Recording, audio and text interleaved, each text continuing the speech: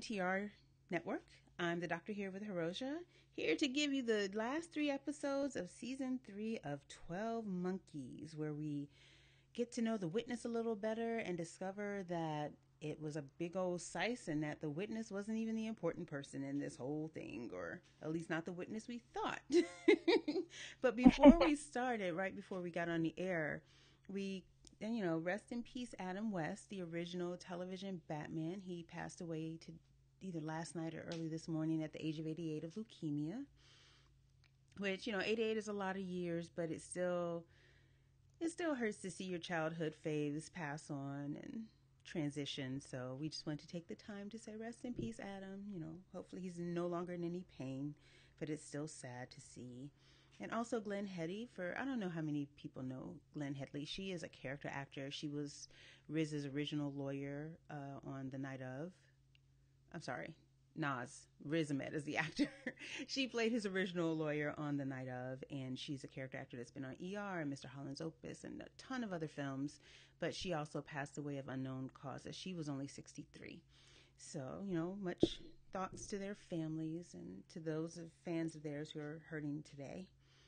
But did you have something you wanted to say? Or um, I just, you know, the Adam West thing just threw threw me for a loop because kind of like him and you know the recent passing of Roger Moore, he seemed like very active, like he was oh, always yeah. out there, and and and, and yeah. like you know he did a lot of voice work for the different Lego movies and the Lego Batman movies and the Legos, uh, just DC movie DC games, not movies, Lego DC games, and it's just like wow. So we have his voice in so many places and his imprint in so many places, and but there'll be no new things from him, and that's selfish to think of. I'm sure his family, even if he didn't do those things, would still want him here. But hmm yeah, just cancer sucks.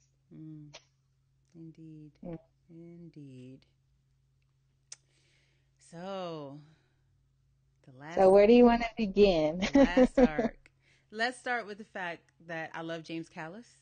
He played yeah. um, the witness or Athan. Uh, James Callis, many of you will recognize him as Gaius Baltar from the Battlestar Galactica uh, television show, the the new series. Um, he also was, I want to say he was in one of the Arrow, Arrowverse, um, Flarrowverse. He guested as one of those villains on one of yes. shows. He he guessed as the Artful Dodger. Okay. Where he had like the bombs and he was a thief, and he was also on another sci-fi show, uh, the last two seasons of Eureka. That's right. Oh, how could I have forgotten that? I love Eureka. Yes. so um, so he you know he I just I don't know what it is about him. He just he takes whatever role you give him and he just he makes it enjoyable he makes it extremely enjoyable, and he has a a bit of gravitas, if you will. Yeah. Uh, to the role. And he played it so well. He played like the emotions of Athan as um, this melancholy, like kind of resigned but fighting his fate kind of a person mm-hmm. to someone who's befuddled by humanity because every person he looks at, he knows exactly how their life is going to end until he met the love of his life and then following in love and then that loss and that pain and that anger and that despair, just that gamut of emotions in like three episodes. It was just, it was just, it was just great acting on his part. Mm-hmm. I have to say that, you know, I appreciate Sebastian doing what he could. I understood why he went his separate way from Sebastian. Mm-hmm. You know, you can't, the, the idea that everyone you interact with, you know exactly how they die and when it's going to happen. That's just a lot to have to to stomach and to deal with. So I get needing that psychic separation just for your own sanity's sake. Excuse me. I guess I just did not buy that of all the people, you know, yes, he fell in love with this woman, but Sebastian, um, for the most part, you know, Sebastian raised him. Yes. And so the idea that he sees this man's death, and that's not the catalyst to stop time, but romantic love is, I just that didn't work for me. it did not work. It was beautifully, it was beautifully acted. I love the actress who was playing his love. I I loved the acting. The acting in all three arcs was excellent. I didn't like the story that they were given to tell. You know I agree to to some extent. I think what it is because we're dealing with a, a time traveling show is I think he experienced in his timeline, Athan's the death of that woman uh, before he got to the death of Sebastian, and maybe Sebastian's death would have been the catalyst for him, but it was the woman's death, the the love of his life, that was the catalyst, and he was more angered by the fact that Sebastian passed, and he thought maybe he could bring him back, like he tried to bring the love of his life back. You know, almost what was it, like 624 times he tried to try to bring her back. Mm-hmm. Well, and I guess that's my question, and that's where it got a little confusing for me. Did he leave Sebastian before he met this woman or after? Because the way this story was told, I got the impression he left Sebastian's side before he met this woman. He did it before, and I think he was just traveling to try to avoid fate, if you will. He was like doing all these random jumps to go all these different times to avoid to try to not be that, uh, as he put it, that cold, calculating demon at the end of the the road. So he was just jumping around trying to avoid his fate, if you will, this this fate that he's been raised to do. And so avoiding everything and avoiding everyone, and avoiding connections. And then when he made that connection and got tethered to that one point in time, that's when I think he really started experiencing all the human emotions really and, and feeling being part of the human experience and then he got crushed by it. And that's when he decided he wanted to be the witness and be that demon and have the red forest and change everything and ha- bring all the happiness, what he perceived to be happiness, into his life. You know what's sad about this? I get it, mm-hmm. and as a standalone, it works for me. As a part of this series, it doesn't. I don't know if that makes sense. Because everything that's come before this has just been all over the place and not well explained, not well executed. And then you have this arc that is beautifully written to a certain degree because mm-hmm. there I do have issues, especially with the end. It did not stick the. I know you said it stuck the stuck the landing for you. It did not stick the landing for me at all. Okay. It just felt like it was thrown in so that they could get some more seasons out of the show, and I did not appreciate it at all. Um, but looking at as a standalone, these last three episodes as a standalone into the series, minus that ending, worked for me. But everything leading up to it does not. It just doesn't. Yeah, like I like I stated the the last review, like I well I feel like the ending the, the ending did stick. Like the journey to here was very wonky. There was parts that worked and parts that didn't work. And I guess they thought the ending was going to make everything tie together, and it doesn't quite tie everything together at all. And no, and given the fact they had ten episodes and the budget looks good and the acting, you know, is very well done by everybody involved. It just it seems like the writers, I'm like we stated earlier, they they were just a little sloppy with their storytelling and kind of ignoring their their uh, rules, which kind of hampered or dragged down this season. And then the fact that you know we've been tracking this witness for three years, and mm-hmm. you know it was interesting that you know it made sense that the witness was a primary, right? But yes. Then, but then to end it and say, oh no, he's a witness. The witness was actually Olivia. It's like, excuse me? What? I uh, do you want to get into that, or do you want to talk about other stuff? let Let's let's get that out of the way, because otherwise it's gonna sit here and prickle at me. let's just get that out of the way, and then we get into the other stuff. I'm just like, there is nothing in three years. Not to say that people have to be led by their noses to a conclusion, but it just felt so cheap and just thrown in there just to be thrown in there. It really did. Okay, for the overall se- series arc, yes. For the season, there were hints in the season that kind of hinted to that possibly Olivia, if you look back like a second viewing, you can see they were leading up to it, but they were very subtle. Like the fact that she let them know, especially Cassie and Cole, that she was the child in the box and she got left behind and she blamed them. And then she said uh, something to um, Jones, how he uh, Cole always gets gets sent out there and creates the problems that he has to fix. And one of those problems is Olivia. And then there was that uh, time where Jennifer, uh, when she was stuck in France, and she does that play where she's doing the Splinter play, and she's, you know, Jennifer's the hero, or she's the goddess of time, and she ends up killing the witness. I, I think it ties together if you just look at the Jennifer and Olivia arc, even through the series, because the two of them have been so tied together. Um, in a sense that you know Olivia is the one that kind of shaped Jennifer to being somewhat the person that she is, and Jennifer is responsible for basically destroying Olivia's faith in the witness. And so I think that's what they were trying to go for. Uh, I can see how series wise it doesn't quite fit, but for the, this this particular season arc, the little hints that they had, it does fit. It does, but that goes back to the writing being.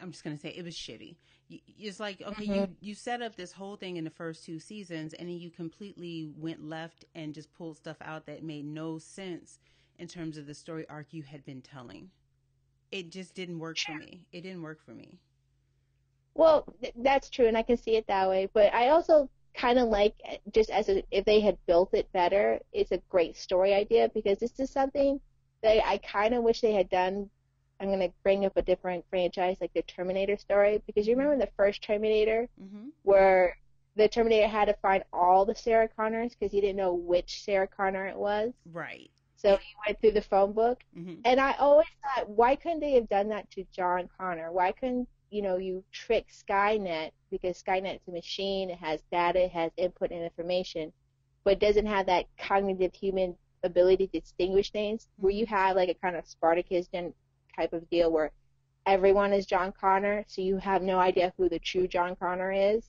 But then you're setting and, up a bunch of people to be yeah. murdered. yeah, exactly.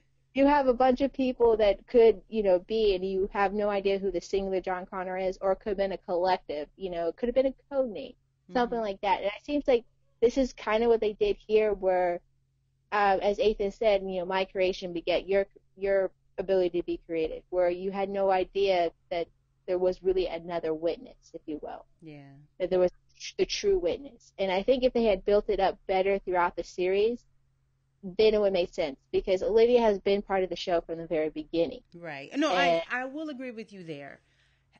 I'm just going off of what they gave us.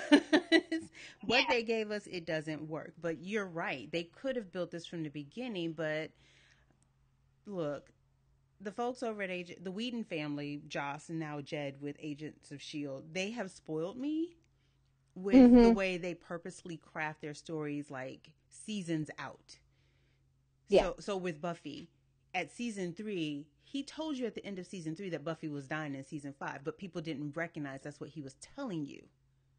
Yes, and you, you know? have to it takes three or four four watchings to finally see what people were talking about. Mm-hmm because I you get so enamored with all the other things, or even just you know the recent show, uh, the Whedon show of Agents of Shield, how mm-hmm. everything is built off of that first season that no one really likes, but you can't get everything else without that that foundational layer.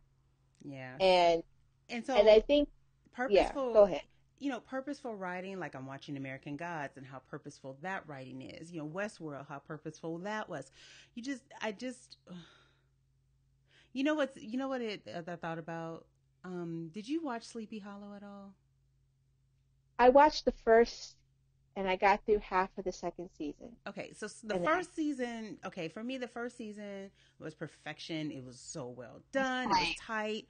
And then the second season stumbled a bit. They threw Katrina in our faces, and we really didn't give two shits about Katrina. But you know, we tolerated her because Abbie and Ichabod had this destiny ahead of them. Yes, it was third season. I think I stopped. That's when they brought in a whole bunch face? of folks that no one gave two shits about. Yep. Betsy Ross. yeah, Betsy Ross. Yeah. And then, the, but I like that actress. Yeah, I and know. She did was role, but that was it. Wasn't her. It was the writing. It was the writing. And then the third season, they decided, oh, Abbie's not that important anyway, so we're just gonna kill her and pretend it was really all about Ichabod. Except that that's not what you wrote in season one. And then no. after the fourth season, it got canceled. That's what I'm watching happen with 12 Monkeys. You started up really strong with season one. You kind of skipped, you stumbled a bit here and there too, but you kind of stuck the landing. And then season three was like, because it did not connect with what you set up in the beginning with your mythology. And I'm like, don't do this. Y'all got to stop. Y'all got to stop being lazy with these shows because it feels like laziness towards the purpose of getting more seasons. And I'm like, it's okay if you say, I set this up as a one season miniseries special event, or I set this up to be exactly three seasons. That is all you're getting. That is all I'm committed to. And this is the story I'm going to tell. See that that's a good thing because there's a few shows that were like that. I think it was like Babylon Five was like the 1st mm-hmm. really true, planned out television show, mm-hmm. and then other television shows did that. And like Supernatural, like when it first started out, was only planned to be five seasons. And it was and if you those all, first five seasons yeah. were perfect. And now yes, they're season twelve, and it's yeah. bullshit. yes, and don't get me wrong, I love my Winchesters. Yes. I kind of dropped out after like season 10 and a little bit of 11. That's where I kind of done. But I would highly recommend to people to watch the first five seasons mm-hmm. because it's extremely well planned out, and that ending, even though they had a little tag in and it, was a perfect ending for the for that series. Yeah. And when shows are done like that, is is great. I think even to a point, even uh, you know, Twin Peaks is back on. I haven't seen the new stuff, but the old stuff, mm-hmm. there was a planned out, but it was really like planned out for one season because it was so experimental mm-hmm. that David Lynch and crew didn't know they were going to get anything further. Mm-hmm. And you can kind of see where second season in the movie where things get a little wonky or whatever, but it's still it's still enriching and, and just because of the caliber of the acting and the writing and what's going on, even though the story's a little wonky. I think what's happening here is they did have some kind of a purpose and they knew they were at a first season, nice mini event, maybe a second one, but after that they didn't really plan too far, far out because I don't know, sci-fi wasn't giving them a good enough signals or what the deal was in I'm I'm curious of when they realized they were going to get the fourth and the fifth season because maybe that's when the shift of the writing happened because it seems like something happened where things got shifted around. Fourth, but um, and just as a FYI, I know you said you read somewhere, but I, every place I've read, and even the season finale here said there's only four seasons. There's only one more season after this. Mm, I mean, you okay. can, mm, but on the Sci-Fi Channel, they said season four is the final season. Oh, all right. Well, maybe I misread somewhere. Well, it might have been that the fans thought that they had enough for a fifth season, but however many episodes they have, are going to be stuffed mm-hmm. into a fourth season. So I don't know if they're going to do the drop like they did this year and just drop them all on the weekend, that same one mm-hmm. weekend. But okay. Well, what I do think is going into season four, they it, they do seem to have a clear plan. Yeah. I think the whole Olivia Jennifer battle, because I think that's what they're building up to. I think that would be a very interesting battle because how often do you see really strong, clear, well written female characters going after each other for a purposeful reason, where it's not like a man or a love story or something like that, but these are women that have their own agency and have their own purpose, and one is the hero and one is the villain. Yeah. And I think that would be very interesting if they can still keep those characters as well rounded, as well written as they have been. That's true. Um, and I, that, that's what would really fascinate me. That's why I thought that personally for me the landing s- stuck for me because I said, oh, that's very interesting where they shifted everything away from Cole and Cassidy and the witness and back onto Jennifer as being the really the most important primary, which has been hinted out throughout the series. Now I will agree now, with that. I will agree that she's been the center point in terms of primaries. Mhm and she's getting that affirmation from Athan saying that she's the best out of all of them. Mm-hmm. So, and then I have no idea like what the I kind of know what the um, the snake symbol is, but as far as the what they're going to do with the mythos here, I have no idea what that is going to be, and or how I guess Cole's mother is going to come back again somehow in the next season. But I just personally, I just kind of like how that ended, just how be Jennifer versus Olivia. The other stuff, eh, like I said, the journey wasn't the best getting here to that point. No. Um, Jennifer, Yeah. Shall we discuss her since we, that's a good segue? Uh, yeah. So it turns out Deacon just did not matter. Poor Deacon. Because he thought he was the dying man in the photo, and it turns out, like, no, nah, dude, you're not even that. you know, I do think he does matter because Olivia has made him to matter. He didn't matter. Deacon didn't matter to the witness. That's why he wasn't on the map. Mm-hmm. Because he matters to the real witness, to Olivia. Because he was the one that got Olivia into the place the first time with the messengers. Mm-hmm. And then when she beat the crap out of everybody with her superhuman superpowers, she let Deacon live and said that, you know, he could be so much more, and he allowed these people to make him weak, and right. that she can make him better. Right. I think so going, I, I, think going forward, yeah. he's gonna have a role. It's just that up yeah. to this point, he was just, you know, he could have just been the UPS guy for all we know. You know, I'm just delivering the packages. I'm just delivering the keys, opening the doors. Yeah, and he, that sort of irritated and grated him, and he kind of took it out on everybody, especially Jennifer, mm-hmm. until he, I guess you might say he had an epiphany, where he realized that, you know, he he can't keep doing this, and he let Jennifer go, and then he realized Jennifer tricked him, and he had a smile on his face. he's one of those people where he he likes it when, you know, people stand up to him and show them show him up, or if if you will, he's proud of that. That's like a, I don't know, his proud papa moment for him. Yeah, basically. And, yeah, the way Jennifer tricked and she like winked at him, and they have like a really good dynamic. The the, the two characters and the two actors, they have great chemistry to each other. But uh, again, Jennifer shined throughout these last this, the whole entire arc, even though she wasn't really the center of it until maybe like the last episode. She wasn't the center, but she was a thread. I feel like she, she was, was a thread throughout it. She was, especially with the pictures and the painting and her and Olivia switching places where Jennifer's in the cage and Olivia's on the outside. Mm-hmm. And it's like everything Jennifer was saying leading up to it is like she's here for a purpose. Don't trust her. Don't trust her. Don't trust her. And it seemed obvious to me, even though I had no idea what the ending was going to be. When I saw that moment, it was like, yeah, you guys need to listen to to to the crazy person here because Olivia's not supposed to be on the outside of that cage. And what are you guys doing? It sounds like you're bumping up against your mic a little bit. Oh, I'm sorry. Uh, what is it that they are doing? You know, they're stabbing each other, they're shooting at each other, they're locking each other up. It seemed like everything is falling apart because of their obsession to kill the witness.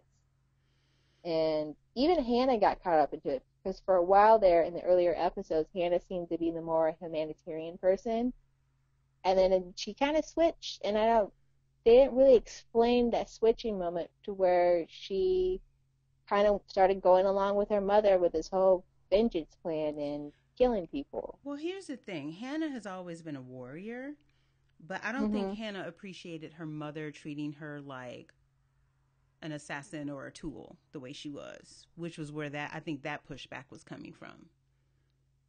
Mhm. Or expendable. Yeah. When she said even she... though I don't think Jones Katarina saw her daughter as expendable, it was coming across that's how she was being treated was as as an expendable asset. Mhm. Well, I was referring to um, the moment where they're in the house mm-hmm. and uh, Jones was going to shoot Athan, and she she says she's sorry to Hannah because she knew the moment she shot Athan that it's possibility that Cassie or Cole was going to shoot Hannah. Mm-hmm. That's that's what I meant.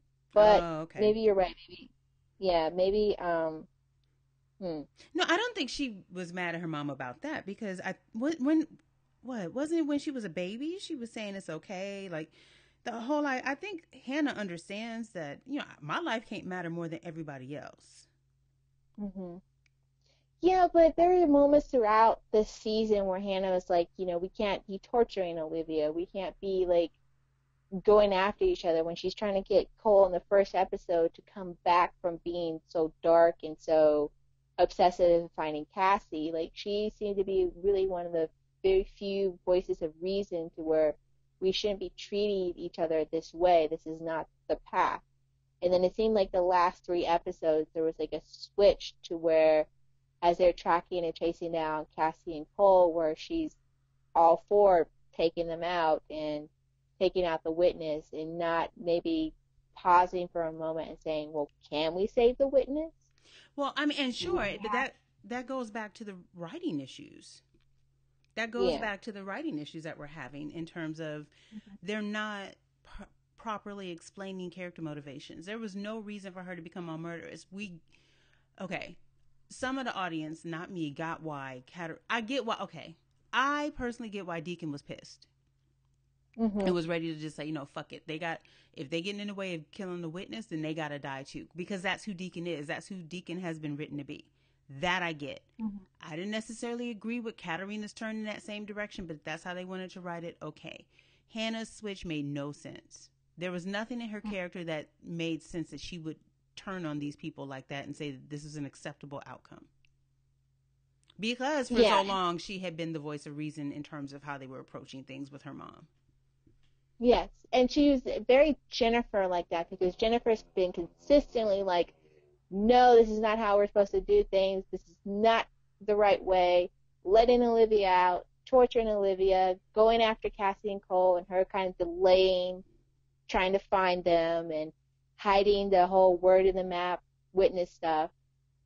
Uh, she kind of gets that. You can see that influence from Jennifer and Hannah, and that was great because it shows that the person who raised her should probably be more like that than um, her mother, whom she barely remembers. Mm-hmm. But that switch wasn't. It wasn't really properly explained. It really wasn't. And I know she got shot at the house and she got hit and she almost died. But even that, what I wouldn't think would be enough of a shift for her to be like, let's go get them. To me personally, from what they have built up of Hannah the last two seasons.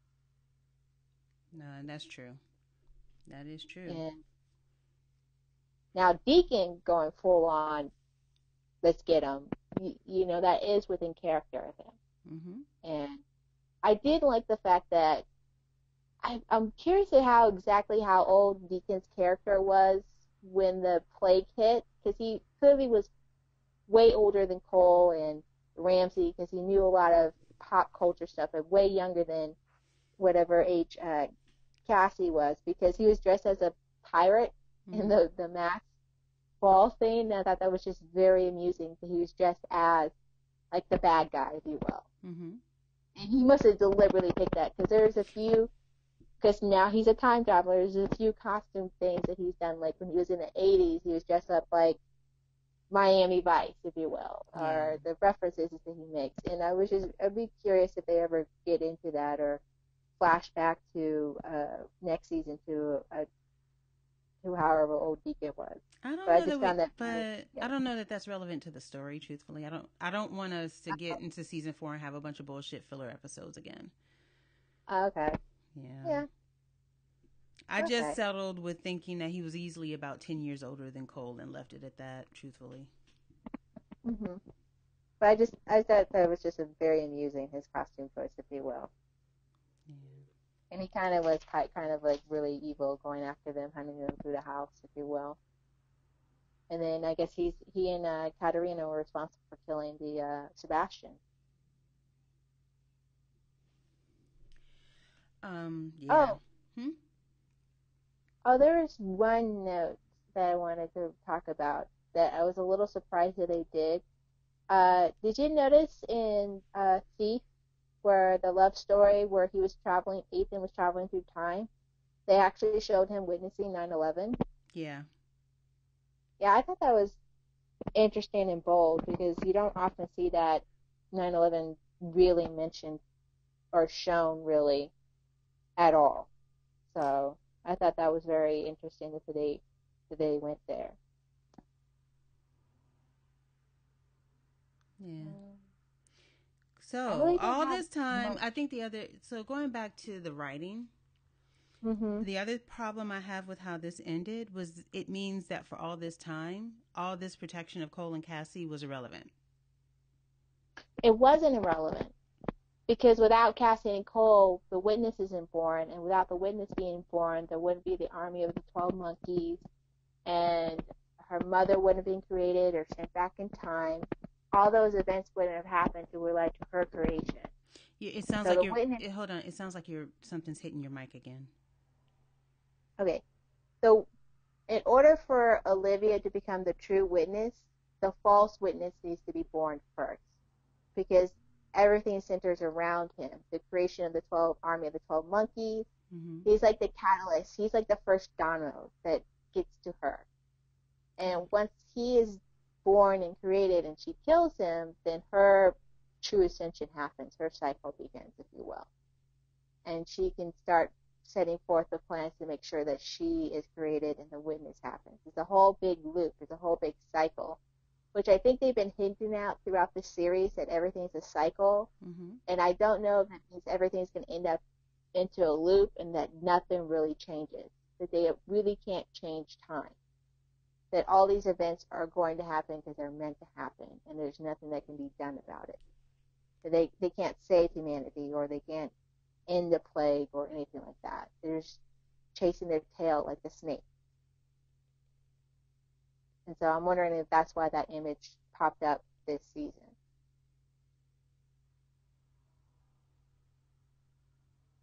Okay. But I don't know the the writing, like you said, hasn't made things that clear, so it's a bit muddled. Yeah.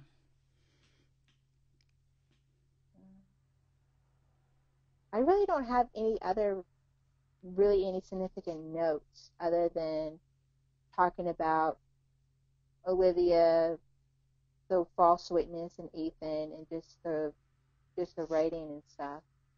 Uh, I think pretty much everything else was pretty clear. Um, not sure if Jones is going to make it, but do you think that, we need her in season four? Hmm. Do you think we need her in season four? No, I don't think we need her in season four. Tell me more. Why do you think that? I think her character arc is done.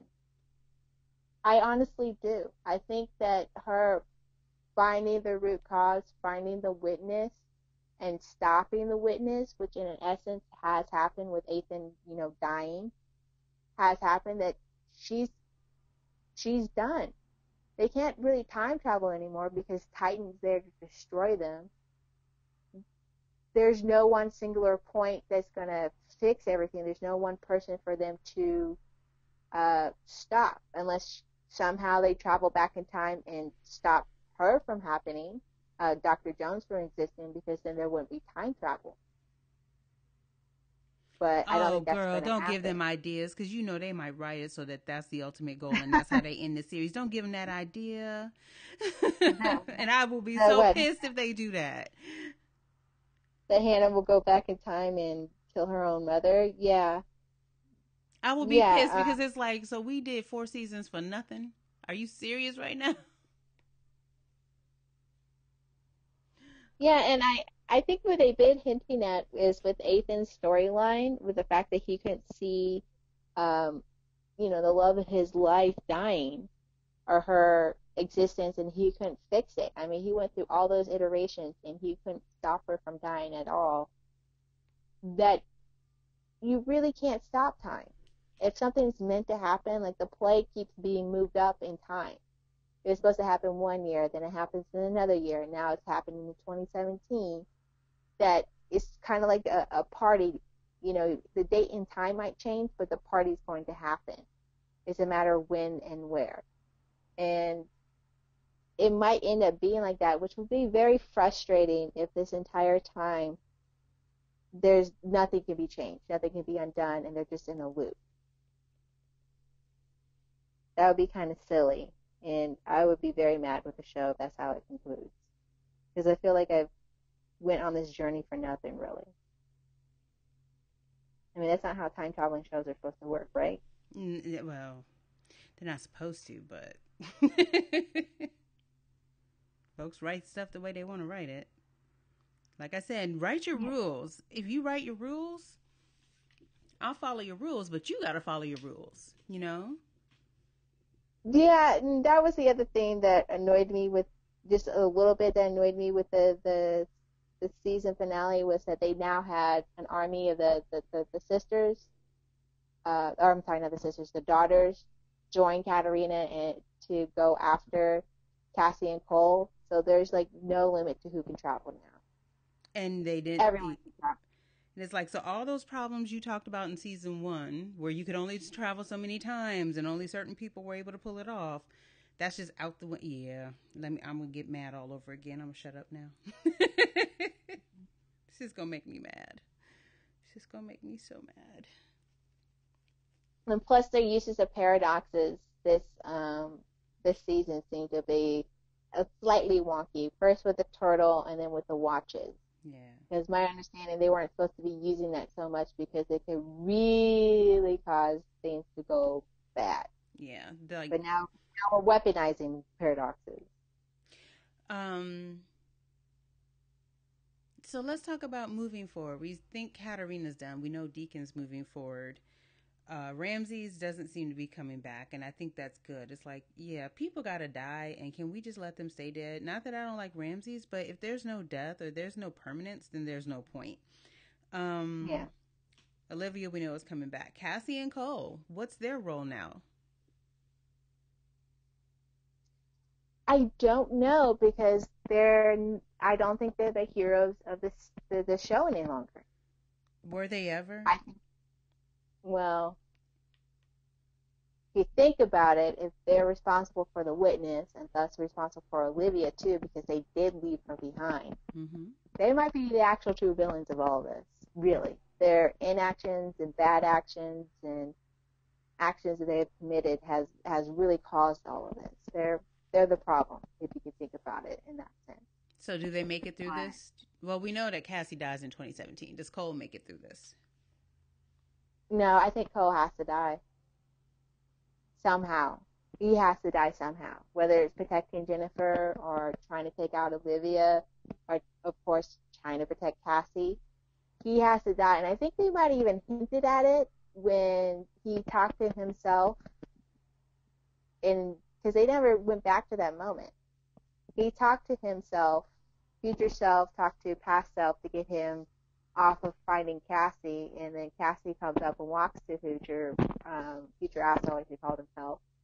Um, because for some reason they had to get to that moment, and they never explained why that was. They never went back to that. So maybe he ends up dying somehow. Maybe he hits the button and emotes. I don't know. But I don't think I don't think anybody really is going to make it except maybe Jennifer and Hannah. Because I like Hannah. Oh, you think Hannah's going to make it? Yeah, you can't kill Hannah. She's, Why not? I know she's a warrior warrior princess, but she's just so adorable. Hannah, that's really that's is. exactly why you kill her. Look, everybody uh, can get it. Everybody can get it. Oh, I'm sorry.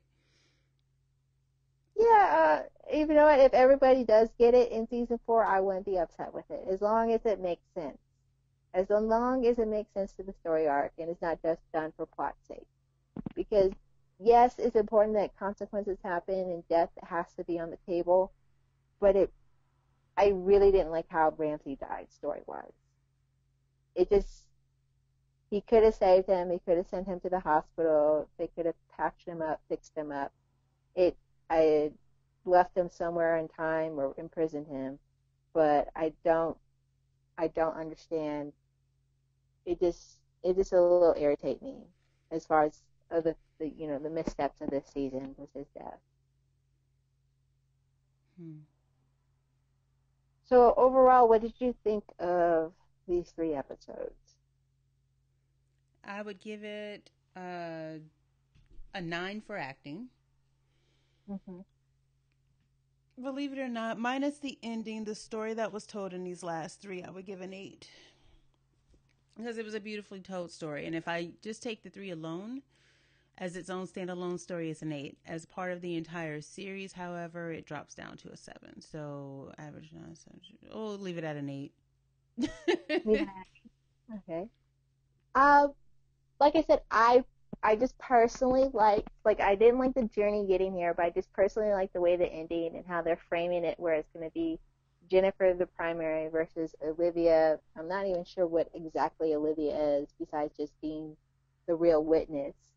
If she has any special time abilities, if you will. Mm-hmm. Um, I like that framing because if the next season, which is the final season, is going to be um, those two against each other, I think that's just exciting because it's something different. You don't often see two women pitted against each other outside of like some type of really soap or soap opera type of a show. Especially these two characters are pretty well rounded, well defined.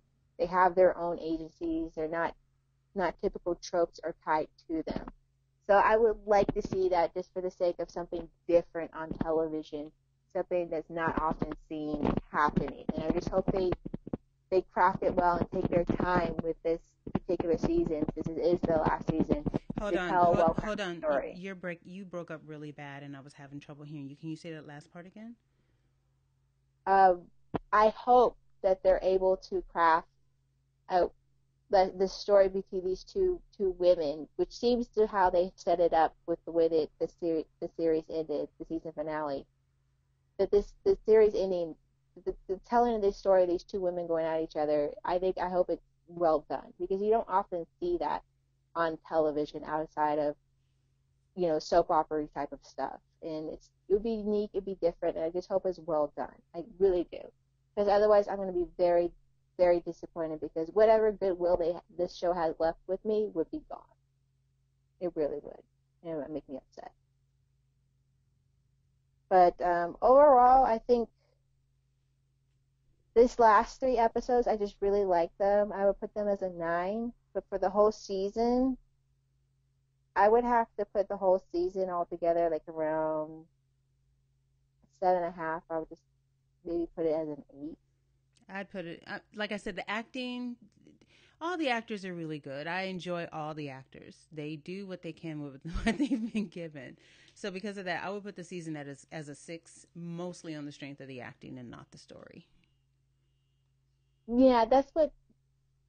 It's yeah, hard, what, you know. It's hard. It's hard, right? You have these really talented actors, every one of them, every single one of mm. them. There's not a weak link amongst them.